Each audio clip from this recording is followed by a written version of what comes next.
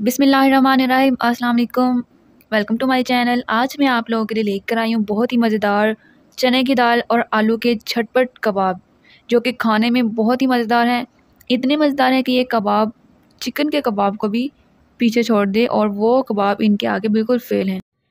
तो बिसमीम अस्सलाम मैं हूँ फिज़ा, वेलकम करती हूँ आपको लाजवा पकवान में। लाजवा पकवान में आज मैं आपके लिए लेकर आई हूँ बहुत ही बेहतरीन, बहुत ही मज़ेदार और झटपट से बनने वाले दाल और आलू के कबाब। तो चलिए बिना टाइम को वेस्ट किए अपनी मज़ेदार सी रेसिपी को बनाना स्टार्ट कर लेते हैं। बिस्मिल्लाह करते हैं। बिस्मिल्लाहिर्रहमानिर्रहीम, एक कप मैंने चने की दाल ली थी और इसको मैंने अच्छे से वॉश करके पूरी रात के लिए भिगो के रखा था। दाल को अच्छे से भिगो कर रखें ताकि ये जल्दी गल जाए। अगर हम इसको बग़ैर भिगो के बॉईल करेंगे तो ये बहुत ज़्यादा टाइम लेती है। और इसके बाद मैंने लिए है दो आलू। इसको मैंने छिलके उतार कर इस स्लाइसिस में काट कर वो भी इसमें शामिल कर हंसपे ज़रूरत मैं पानी लूँगी ताकि आलू और जो दाल है वो अच्छे से गल जाए और इसका जो पानी है गलने के बाद ड्राई हो जाए। हाफ़ टी स्पून मैं इसमें नमक डालूँगी और इसको कवर कर दूँगी तब तक, जब तक ये अच्छे से गल ना जाए। और इसका सारा पानी जो है वो ड्राई ना हो जाए। तो यहाँ पर जो दाल और आलू अच्छे से गल गए हैं, उनका पानी भी अच्छे से ड्राई हो गया। देखें दाल बिल्कुल गल गई है।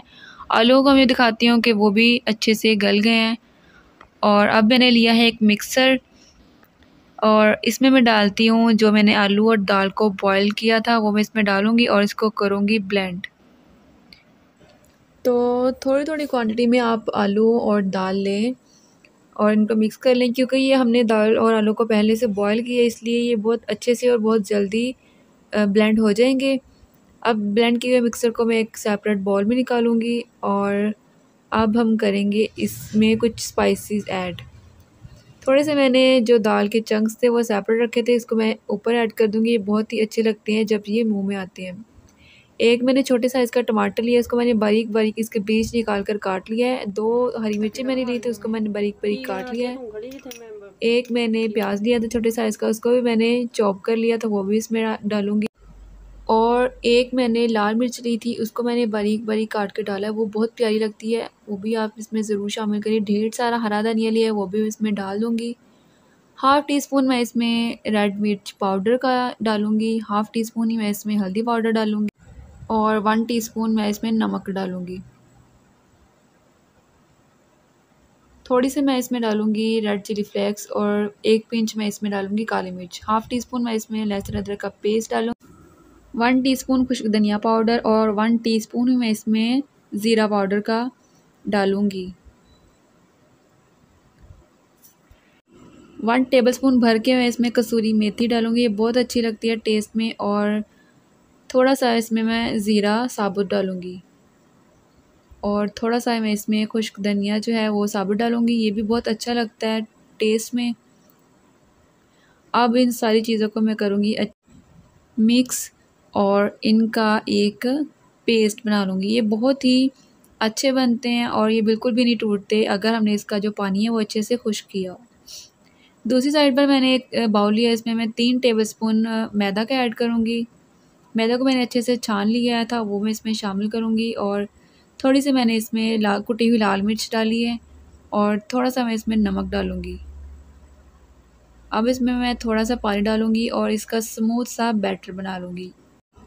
इससे हम अपने कबाब की कोटिंग करेंगे तो वो बहुत ही क्रिस्पी बनेंगे।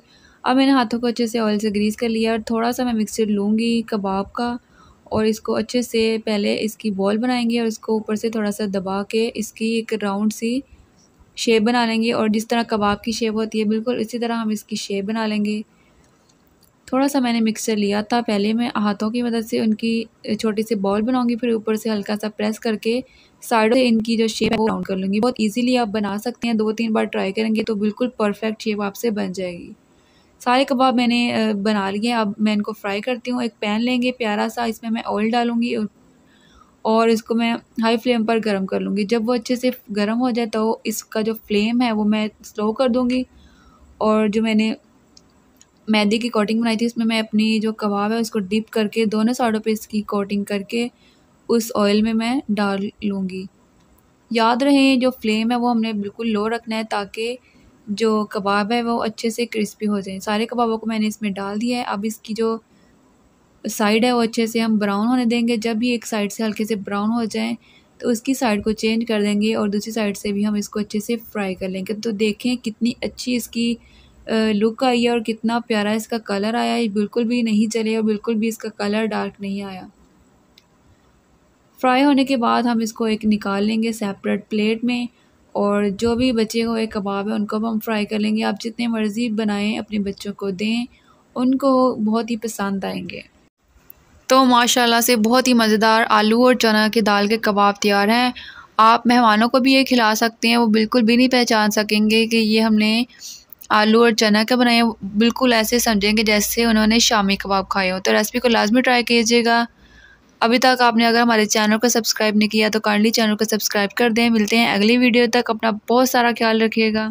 मुझे भी अपनी दुआ में याद रखिएगा। तब तक के लिए अल्लाह हाफिज़।